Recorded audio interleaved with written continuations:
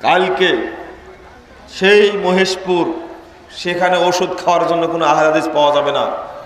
বক্তব্য দিতে গেলাম তো পারলামই না। বন্ধই করে দিল।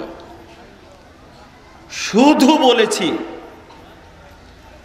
যে বর্তমানের যে তাগুতি বিধান চলছে মানব রচিত ভুয়া জাল জয়ী বেদাতি, সিরিকি আমল চলছে।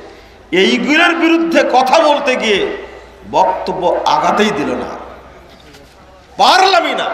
শেষে বক্তব্য বন্ধ হলো। গতকালের কথা বলছি। তবে ইতিমধ্যে বক্তব্য দেড় ঘণ্টা হয়ে গেছে। আমি আরেকটু বলতে চাচ্ছিলাম, কিন্তু বক্তব্য বন্ধ করে দিল। শুধু তাগুতকে না বুঝার কারণে। আপনাদের অবস্থা তাই? কেন? এদের একটা তাগুত আছে আপনাদের, এই সিলমারা তাগুত, চিনেন কি? এই যে এই যে কি যেন কালি ভরায় দেয়। ওটা তো জানেন, বুঝেন তো, তাই না? মাজারে সেজদা মারলে ইমান নষ্ট হয়ে যায়, আমুল নষ্ট হয়ে যায়, এটা সিরিকি আকবার, মরে গেলে কোথায় যাবে?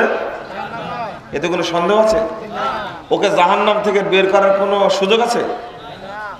কোনো সুযোগ আছে? কোনো সুযোগ না।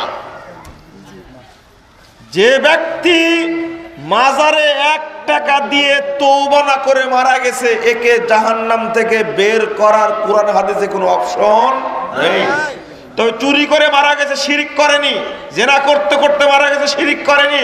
মদ খেতে খেতে মারা গেছে, শিরিক করেনি। এর বাঁচার তিনটা অপশন আছে।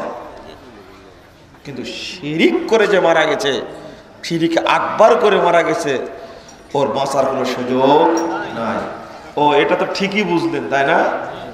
আপনি কি জানেন, এই এক টাকা মাজারে দান করা মাজারে সেজদা করা আর সিল মারা দুইটার মধ্যে পাপের কোনো পার্থক্য নাই?